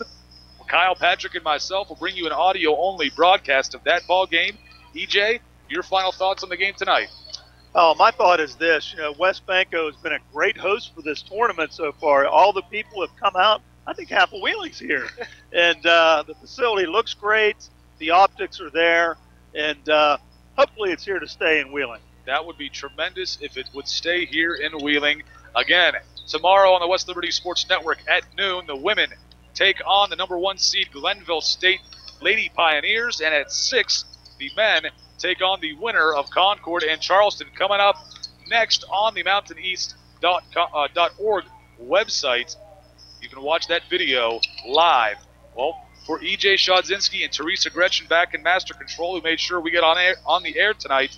Thank you very much, and we will see you tomorrow on the West Liberty Sports Network. What we're going to be doing, and we're in the process of raising funds for now, is called a Feed the Funnel Party. And I'm really excited about this program we are we have $3,000 towards our $5,000 goal. And with $5,000, we can pack 20,000 meals for here in our community.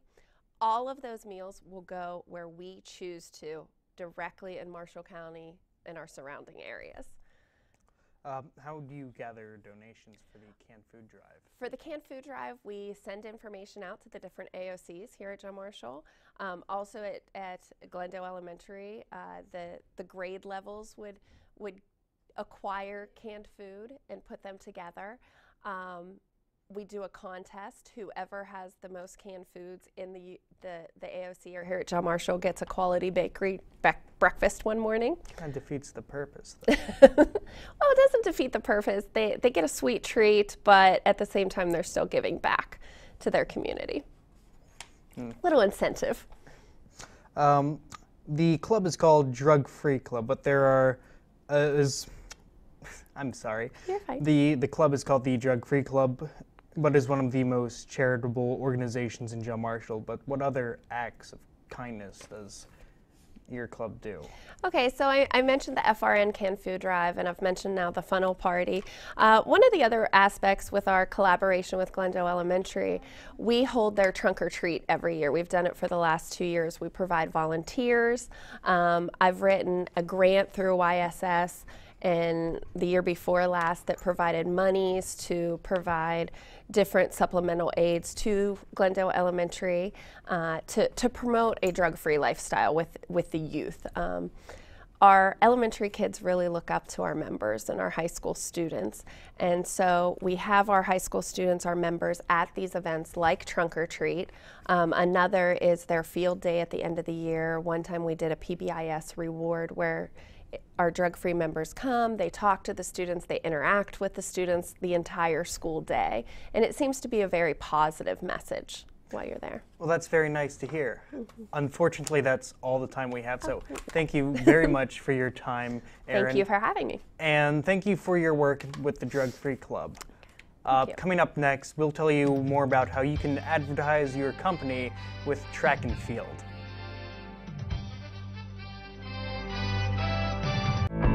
Sometimes, one moment changes everything. One song, one game, one adventure, one mission. For a child battling a critical illness, a wish come true can be a turning point. You can transform lives, one wish at a time. Visit Make a Wish online to help grant more life changing wishes. We've got more news now on WJMH Reports. I'm Ethan Cameron. John Marshall's High School Track and Field program is introducing a new fundraiser that can help advertise your company. There will be multiple levels of the fundraiser, with the top three guaranteeing, guaranteeing five years of advertising. Bronze level is the lowest, that gives you five hurdles, and year of ads for $250. Silver level offers 10 hurdles, five years of ads, and a small banner for $500. Gold level gives you 20 hurdles, five years of ads, and a medium banner for $1,000. And finally, the platinum level includes 30 hurdles, five years of ads, and a banner, a large banner, for $1,500. For more information, you can call JM Athletic Director Robert Shavanak at 304 843 4444. Or you can send an email to rshavanak at k12.wv.us. Again, for more information, you can call JM Athletic Director Robert Shavanak at 304 843 4444 or you can send an email to rshavanak at k12.wv.us.